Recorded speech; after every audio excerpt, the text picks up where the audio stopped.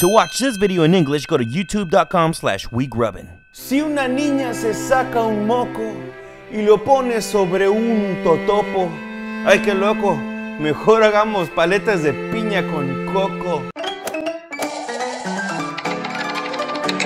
Hey, what's up family? Bienvenidos al canal del Gusi, yo soy el Gusi y hoy continuamos, seguimos con esta serie de puras paletas riquísimas, deliciosas.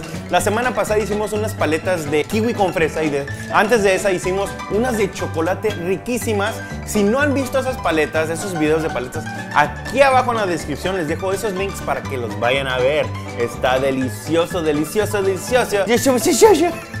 Y hoy vamos a hacer unas paletas riquísimas también, pero de coco con piña o piña con coco, como sea, como sea, pero están riquísimas. Aparte, algunos de ustedes me dijeron que una de sus paletas favoritas son las de coco y algunos dijeron que de piña, así que hoy vamos a comenzar. Si no me han dicho cuál es tu paleta favorita, aquí abajo en los comentarios déjame saber. Yo quiero saber qué es lo que te conmueve tu paladar.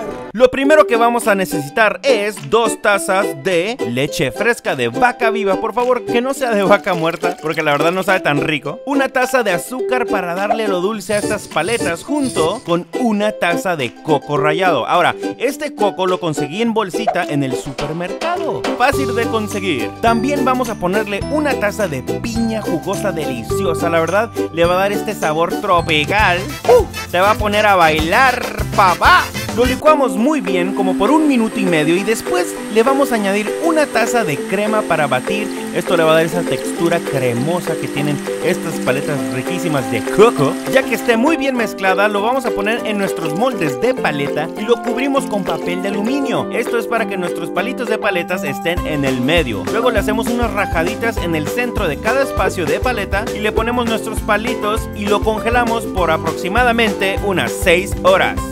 Después de esto los vamos a sacar y los pasamos por unos segundos por agua caliente para que se puedan salir así fácilmente y listo. Estaba haciendo mucho calor la verdad en mi casa así que se derritieron un poquito pero no pasa nada. Gracias a todos ustedes que hicieron mis paletas y mandaron fotos usando el hashtag puras paletas. Los quiero un chorro. ¡Uh!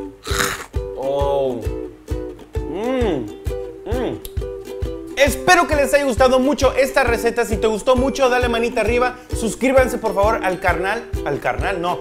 No se suscriban al canal. Suscríbanse al canal para que les lleguen notificaciones cada semana de los nuevos videos. Aparte es gratis, no pierdes nada, ¿ok? No pierdes nada. Si preparan estas paletas deliciosas, recuerden de tomarle una foto y subirlas en sus redes sociales usando el hashtag puras paletas. Así para yo poderlas ver y darle like y ponerme muy, muy, muy feliz con ustedes.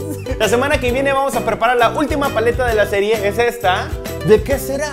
¿De qué será? Tú sí sabes, tú Tú, Fernando, tú, Fernando, y tú también, Mayra, eh, y tú también, Elizabeth. Déjenme saber en los comentarios de qué sabor será esa paleta. Disfruten su verano, abracen a su familia, denle besos, cariños, regalos, pasen tiempo de calidad y nos vemos la próxima semana. Yo tengo un poquito aquí de, coco. Nom, nom, nom, nom, nom.